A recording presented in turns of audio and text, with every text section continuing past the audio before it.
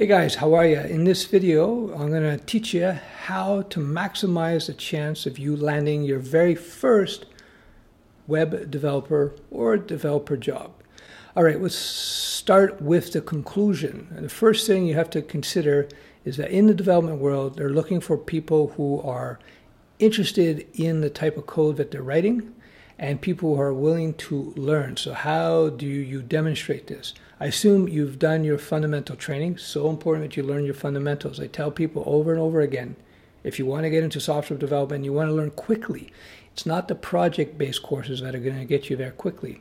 First, you understand your fundamentals, then you do a couple project based courses, just a couple, not many. And then you go out there and you do a couple of free jobs to get your feet wet in the real world. Little jobs, and just do them as stages. Do them for free. Consider them part of your training. You see, people will go to $10,000, $20,000 boot camps so that they can get the stage training. You don't need the boot camp to do that. You can do that on your own. Get your fundamentals, do one or two projects, then go out there and get a couple of jobs working as a freelancer or a stagiaire. So you got your fundamentals. And next thing you got to do is you got to put up a website. Now, if you're selling yourself as, as a web developer, you better have a website. So you put up a website, make sure it looks good. If you're not a designer type, you're more of a coder site, a coder type, then use a template. Use a template. Doesn't matter. You're not selling yourself as a great designer. You're selling yourself as a coder in that situation. Whatever you do, make sure the site looks good and make sure it looks clean.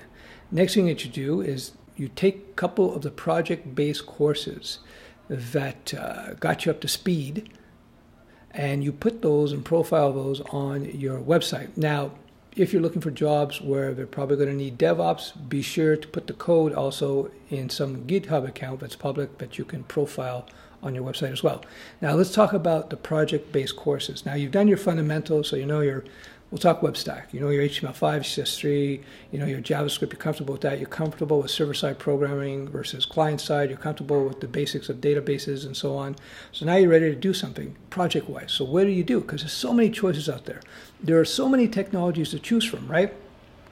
You can go, in terms of backend, you can go with Python and Django. Django is a framework, Python is a language. You go PHP and Laravel. PHP is a language, Laravel is a framework. You can go with Node.js with Express.js. You can go with uh, Ruby and Rails, I suppose. You Java and Spring and .NET with C Sharp. There's so many out there. How about front-end libraries, big libraries like React, like Angular, like Vue, right? Even old jQuery. Which ones do you learn? A lot of people, when they're new to the whole development game, they get overwhelmed with all the choices and all the opportunities, uh, well, opportunities, all the choices out there. So what do you what do you learn? What do you learn? Well, don't worry, you don't have to learn all of them. In fact, you don't have to learn any of them until you figure out where you want to go in terms of your jobs prospects. So what do you do? You got your foundations, you got your fundamentals. So you start looking around at the local businesses or wherever you want to work. You look at what's typically used in that region. Germany, you might find is .NET. In the UK, it might be Express Express.js with Node.js. In uh, Thailand, it might be PHP and Laravel. I don't know. It depends on where you are. In in Silicon Valley, it might be Java Spring, right?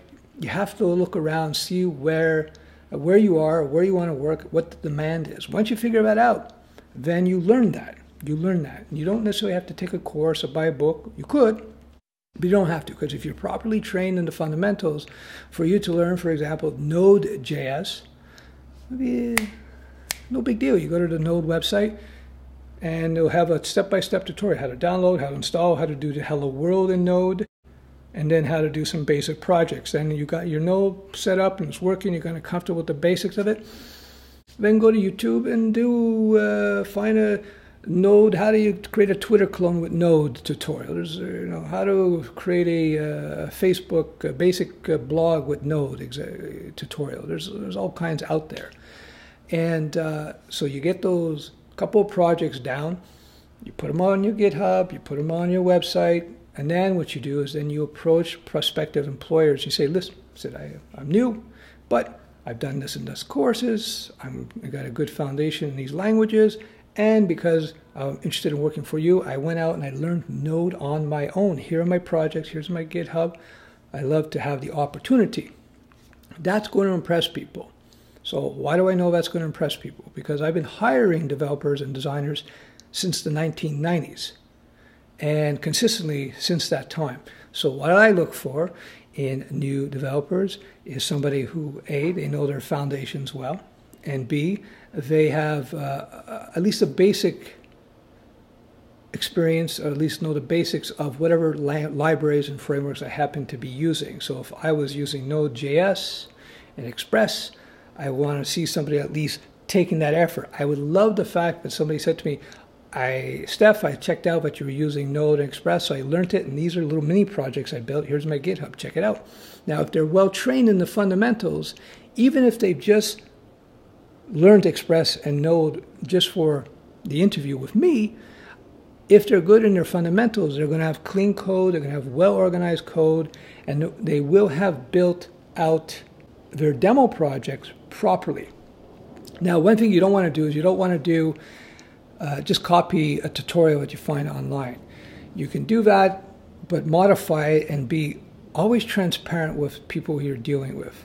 So don't don't pretend that you wrote it from scratch. Say this: I used this tutorial here. I found this on YouTube or I found this on the Node site, and I modified it like this. Be honest that way, and uh, again, that will pay dividends because when I'm looking to hire somebody, I want somebody who's transparent and honest, and somebody who takes initiative. So that's how I'd approach that. So I would approach, if you're approaching me, say, here, this is what I've done. Here's my GitHub. Check out the code. I see his code's clean. I see his documentation's clean. I see he's honest, forthright. Maybe just somebody I would hire. You never know. So I'm just using Node as an example. You have to choose whether it could be PHP, it could be Java, whatever, whatever it is. So for example, with my WebStack course, I don't teach Node, but I teach JavaScript, vanilla JavaScript. I teach HTML5, CSS3. I teach good coding practices. I teach databases, SQL.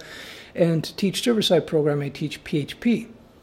But with all those skills that you learn in my foundation training, for you to go learn Node it's not hard at all. Actually, pretty easy. For you to go learn Python Django, not hard at all. It's actually pretty easy because a lot of these languages and frameworks share very uh, a lot of the same principles, a lot of the same techniques. Of course, there's differences, but once you have your fundamentals, it's really easy to expand in this direction or another direction.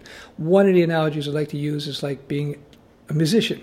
Now, I could teach you how to play 10 songs on the guitar and you know 10 songs and you'll learn a little bit of fundamentals doing that but if you learn how to play guitar you learn the scales and notes and how to timing you learn all the techniques of music then and reading music then you could play every song ever written in the world because all you have to do is look up uh, the uh, uh, the score, not the score, but look at the uh, you know the, the notes for the song. Oh yeah, this song is C D E F, you know, ba ba ba, and be able to play any song pretty easily. So same thing with programming. You learn your fundamentals, you'll be able to jump into this framework, that framework, that framework, et cetera, et cetera. Like I've told people in my own career, I've written commercial software in eight, nine languages. I believe it's nine languages. Been, you know, it's over 20 years. So, and I would just learn frameworks and I would learn languages as I needed to. I didn't go in there knowing all these things. No, I would just walk in, and because I had a good understanding of my, my foundations, I could learn new languages. By the way, if this is all new to you, the first language that you learn is by far the hardest. And it just gets much much easier with every uh, successive language. The first framework that you learn will be the hardest, and then it just gets easier and easier with each one you learn after that. I can learn a new programming language and a framework in just in a few days and be commercially productive. Not because I'm a genius, just because I I have a good grounding in my foundations and I have some experience. So those are my tips, my primary tips in terms of getting your first development jobs. Another thing you should consider, something I also mentioned to people, have good communication skills, which means you speak well, you speak to the point, you speak clearly. Good writing skills, again, to the point, clearly, not long paragraphs of text. People like business people, people in management positions don't have time to read two pages. They just want very clean to the to the point, and they also want somebody who can communicate well, who can listen well, who's responsive because when you're working in a company, you're working in a team, you have to have those type of interpersonal communication skills. Very important. I personally rather have somebody who is uh, a good programmer but has good communication skills rather than somebody who is a fantastic programmer and has terrible interpersonal or communication skills. The good programmer, decent programmer, really good communication skills will do much better in the group than the genius uh, programmer who can't communicate at all. So let me end this and just uh, mention the steps. First, you learn your foundations. Foundation is very important. They, they literally form the foundations of your career. Then you figure out what skills are in demand, what libraries people are looking for, et cetera, et cetera. And then what you do there is you go do tutorials and walkthroughs on those particular libraries or a particular language. But, you know, in terms of whichever company you want to work for, you want to work for, whichever area you want to work for. Like I said, in Germany, it might be all .NET or it might be all PHP Laravel. Who knows? So you, whatever it is, you learn it, do a couple mini projects, put up a website, put it out, put it on your GitHub so you can show your GitHub. You know, a lot of places are going to want you to be able to understand DevOps operations, and then you go in with that. And you may have to hit 10 or so employers before you get a job. If you hit five or six and you're not getting any bites, then offer to do a stash for free, a month or two for free. Do it. It's free training. Just say, I'll work for free. Uh, I want to show you that I can, I can be productive for you. If not, it's okay. Let me go. Be accommodating to your prospective employer, and they're going to be much more likely to want to hire you. But in terms of you getting hired, please consider this. You may be perfectly qualified for a job, but you may be reaching out to a company at the wrong time. I have had to reject really good people who wanted to work for me because I simply did not have a slot for them at that particular moment in time. Maybe if they would have contacted me a year later or six months before, they would have got the job. But it's just timing is, is a factor as well. So if you get rejected the first time or the tenth time, try not to let it get you down. There's all kinds of factors can impact that. That being said, when and if you do ever get rejected, you may get your first job, who knows? You may be lucky. But whenever you do get rejected, ask them politely, could you please tell me what it was I was missing, why I didn't get the job, what you would have liked to have seen in my resume or what how I presented myself? most people will answer you and be happy to help you out. You may find out they just say they may just say, "No, we would have hired you, but we just it was not the fit at this particular moment." Or they may say, "Well, you know, we didn't like the way you did this or that," and take it as free advice.